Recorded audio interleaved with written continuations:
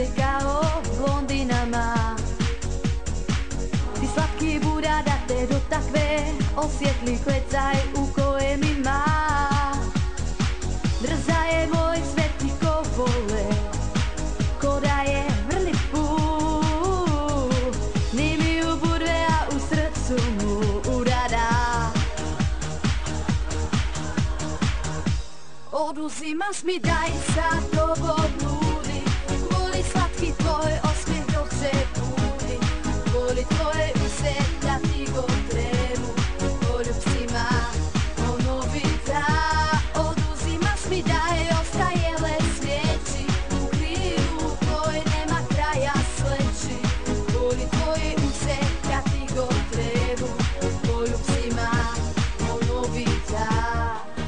Barborka Dobré Ivanková, ráno. dobré ráno ti želáme. Ahoj, u reči to bolo? To bola chorváčtina však. Dobre, dobre. Di- mi dach, znamená to beríš mi dých. Áno, Prečo si spievala práve po chorvátsky? Máš nejaký lebo sa špeciálny mi vzťah? páči chorváčtina. Chorváčtina sa ti páči. Dobre, tak nech sa ti páči aj naše dnešné sedenie. Poďte, sadnime si Barborka, spoločne. ty si sa zúčastnila jednej takej súťaže. Prezrať, aká to bola.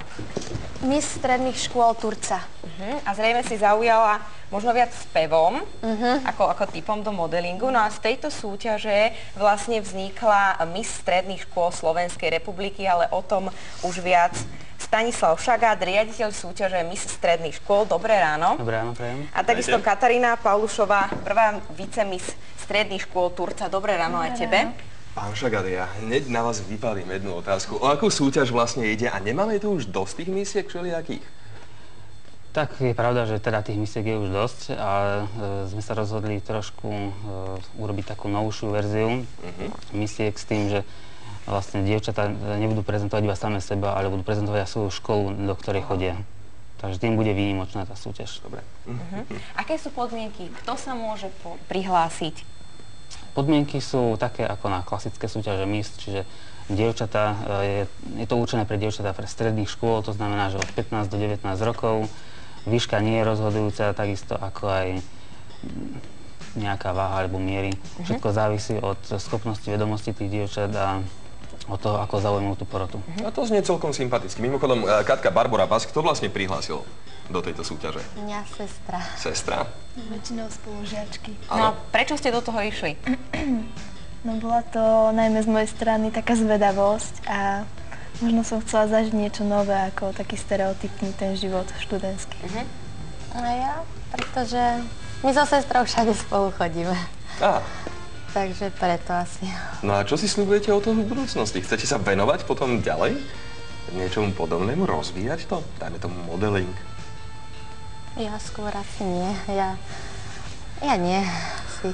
Držíme palce v hudbe. Ďakujem. Katka? Tak ak by sa možno naskytla nejaká šanca niekedy v budúcnosti, tak Ale verím. Tak možno aj áno. hej? Verím, že neľutujete určite túto skúsenosť a doporučujete všetkým dievčatám. Pán Šagan, mimochodom, koľko dievčat sa takto hlási do tejto súťaže? No keďže máme už prvý casting za sebou, ktorý sa konal v Michalovciach 6.10., e, bolo prihlásených 40 dievčat, čo bolo teda nad naše očakávania, keďže je to poprvýkrát. Castingy sa už začali, teda prvý bol v Michalovciach, kde pokračujú, kedy budú. E, Castingy ďalšie pokračujú po celom Slovensku od východu smerom na západ e, od 13.10. od pondelka. E, Čiže hneď v pondelok je to Prešova Michalovce, Prešova Košice. Druhý deň je to Liptovský Mikuláš Poprad. Potom je tam námestovo Žilina, ďalší deň Trenčín, Bratislava, Nitra, Banská Bystrica, e, ukončenie castingových žiary nad Hronom, kde vlastne bude aj samotné finále súťaže.